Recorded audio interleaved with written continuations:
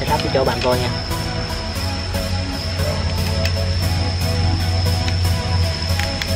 Một khúc một khúc này các rất là cứng luôn rất là chắc.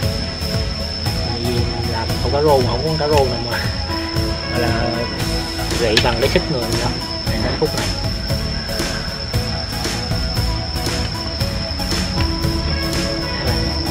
Ba khúc này. Nó thẳng luôn. Bây thì mình uống nó thẳng rồi thì mình hai bạn thì mình có chặt được ờ, mấy cái tre, mấy cái đọt cái này mình dự mình sẽ về mình làm một cây cần câu nha các nha làm cây cần câu. Tại nay mùa ờ, sắp lên, sắp tới mùa nước nổi rồi. Nay cũng ờ, tháng 7 tháng 8 mình rồi. Là làm một cây cần câu rồi, chứ vì nước nước lên là mình sẽ câu nha. Rồi mà sẵn mình sẽ làm một cái clip mình hướng dẫn bạn làm cây cần câu luôn, ok.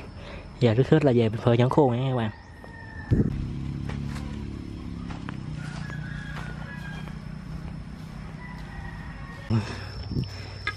Chặt được uh, mấy nhánh tre. Tre này dài rất là dài nha cả nhà. Nè, dài thẳng luôn á. Thì mình sẽ làm uh, cần câu. Đó. nhánh này mình sẽ làm phần đọt còn nhánh này mình sẽ cắt ra mình làm phần thân nha. Cây cần câu tầm 2 mét thôi mình câu cá rô cá chốt này kia đó. Mình sẽ hướng dẫn các bạn làm ờ, clip cây cần câu uh,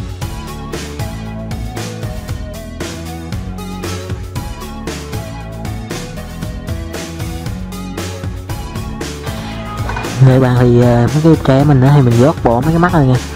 Thì giờ mình sẽ tiến hành uống nha bạn. Mình uống bằng bếp ga nha.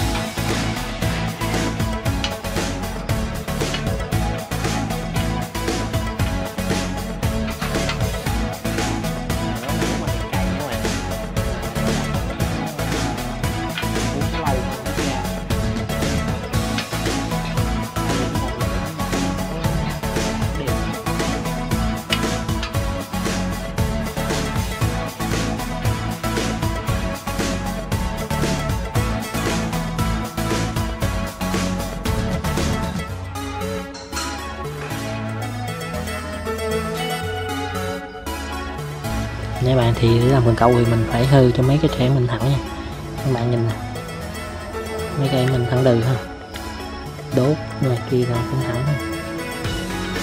hư vẫn thẳng hơn bằng lửa bếp ga mới là nó uống được bạn hơi bạn cứ uống uống cho nó ngay được ừ.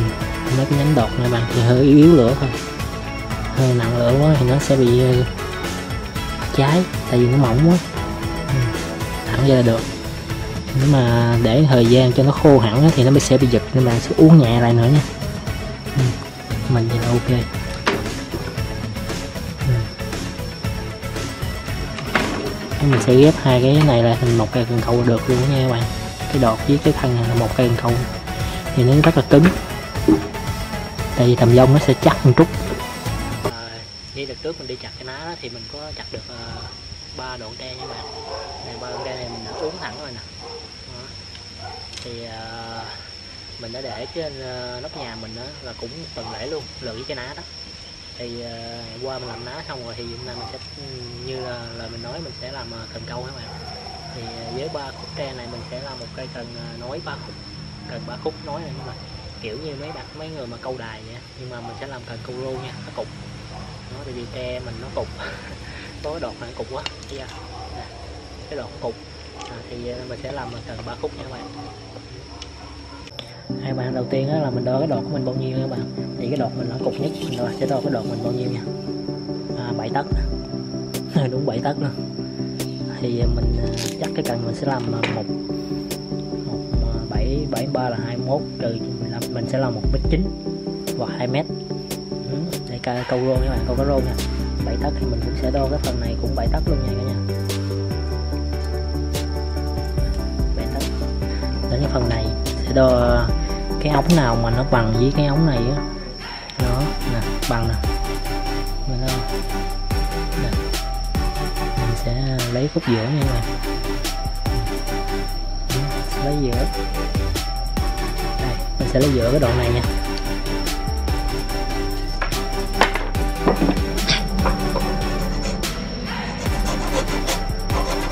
Mình sẽ làm cần nối ba khúc kiểu như mấy người câu à, mà cần dài thì bạn đem đi thì nó sẽ ròm ra.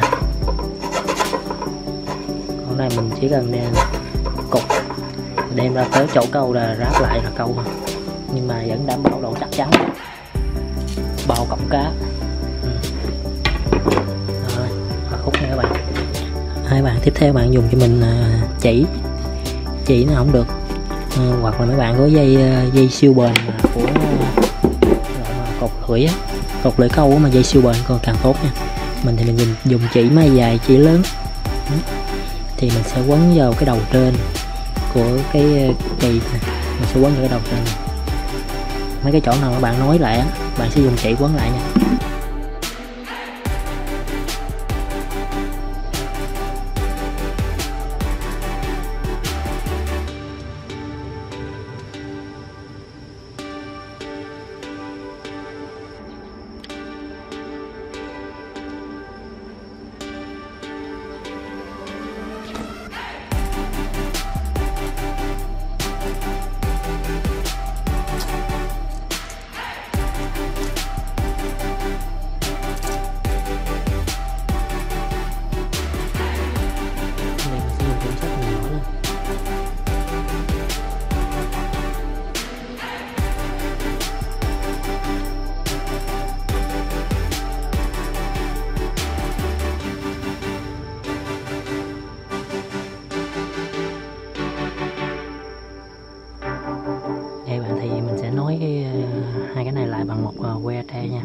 Thì bước tiếp theo mình sẽ khoan cái lỗ giữa hai cái lóng tre này nha các bạn.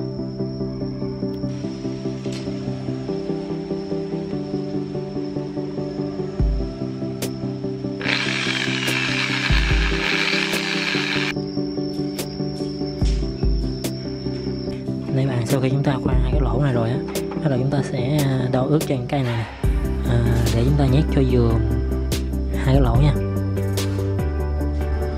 chúng ta phải à, là dốt cho nó vừa khít với cái lỗ này nha bạn.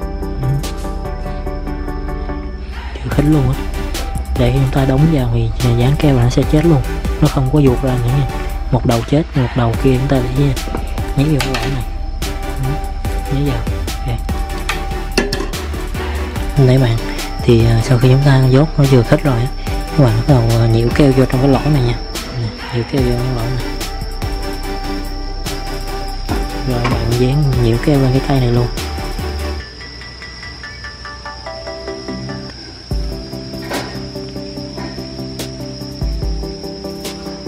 Rồi, các bạn đóng thật. Rồi, nhét thật lẹ vô trong lỗ nha các bạn. Đóng xuống.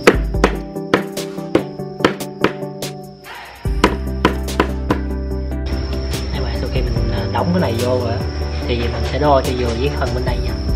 Rồi, mình sẽ à, dán nó vào.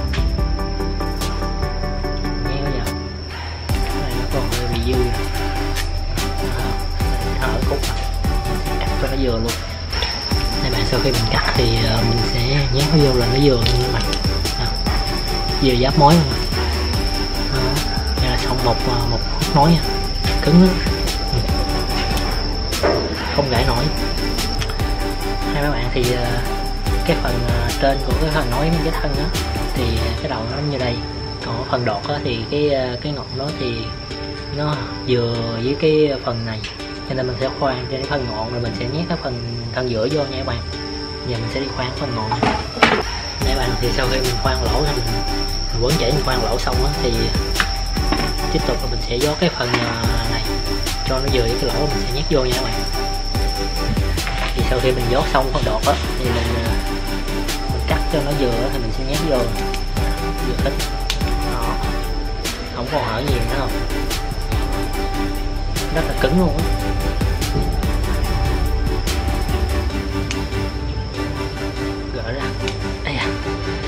Bây giờ mình sẽ à, lắp lại cho bạn xem ba khúc các bạn. Mình à, bây giờ mình làm là được ba khúc rồi. Các bạn thì à, ba khúc cần cấu mình làm xong rồi các bạn. Bây giờ mình sẽ lắp cho bạn coi nha.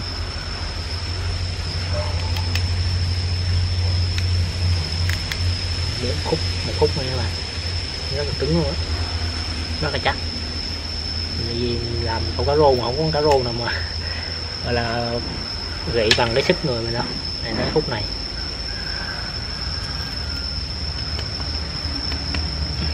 Các bạn. Ba khúc mà. Bạn thấy không?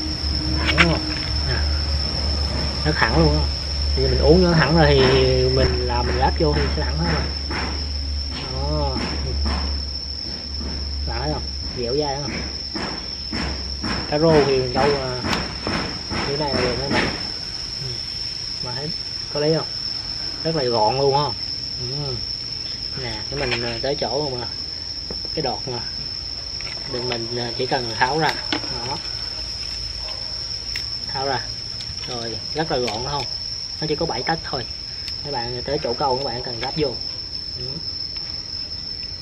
lắp vô rồi ừ, cột lưỡi vô.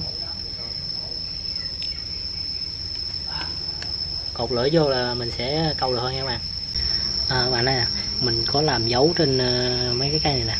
Tại vì mình nhét vô là mình canh hướng nào nó thẳng á, thì mình sẽ làm dấu. Để khi mình tọt vô đúng cái dấu đó là cây cẩu mình sẽ rất là thẳng. Còn mà nếu mà đặt cái dấu ra thì nó có hơi cong cong đó tại vì trúc của mình, tre của mình uống thì nó cũng không có được thẳng cho lắm. Nó chỉ độ độ độ thẳng chừng 90 phần trăm thôi. Nè, các bạn có thể nhìn trên màn hình thấy nè. Cái độ nó vẫn hơi cong cong nè đó, nhưng mà thì ờ, mình đã bảo bạn là rất là chắc luôn á mình uh, quấn kẹt quấn ờ, một lớp chỉ ở ngoài rồi dán keo sắt thì sẽ rất là chặt nha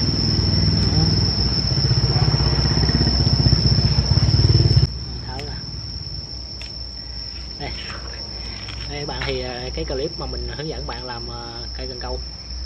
Ba khúc bằng tre. Thì các bạn thấy như thế nào? Thì nếu mà bạn thích chơi kiểu này thì làm như mình cũng được. Tại vì nó gọn nó nó cái là rất là gọn. Nhưng mà cái thứ hai nữa là bằng bằng tre nha. Bằng tre chứ không phải bằng trúc nha các bạn. Bằng tre thì nó sẽ có độ bền cao hơn, tại vì tre nó có, nó dày hơn. Có có cái lóng nó không có ruột luôn, nó không có lỗ luôn, cho nên nó sẽ chắc hơn trúc. Nhưng mà thì nó có hơi nặng hơn trúc tí xíu. Nó nhưng mà được cái làm vậy là gọn. Còn cần trúc bạn để nguyên cây nó dài quá thì nó thì đi chạy rồi nó dướng này, dướng kia. Đó, thì làm vậy nó gọn. Một cái ưu điểm là nó gọn gọn mà dễ sách dễ cầm nữa. Này mà có khúc không? Chút xíu. Bảy tấc 70 cm thôi. Về tới hồi mà tới chỗ ráp ra thành 2 mét mốt là được một cái cần mà bằng câu cá cá rô này kia đồ, rất ok. Câu sông, câu suối thì ok. Chứ là câu cá hồ thì hơi bị bự. Mà đây mình làm cái cần này nhỏ chỉ để câu mấy cá nhỏ thôi. Các bạn cũng thừa biết mà cần trúc hay là cần tre bình thường là câu mấy cá nhỏ nhỏ thôi chứ mấy cá lớn câu không không có chịu nổi. Ừ. Ừ. là thấy như nào? Không thì à, clip này mình hướng dẫn bạn làm cây cần à, cần câu qua khúc từ tre thì à, đã xong hoàn thiện. Thì bạn nào thấy hay với mình một like nhớ bấm đăng ký ủng hộ cho kênh của mình nha. À, còn bây giờ thì chào tạm biệt hẹn gặp lại bạn ở các clip tiếp theo nha.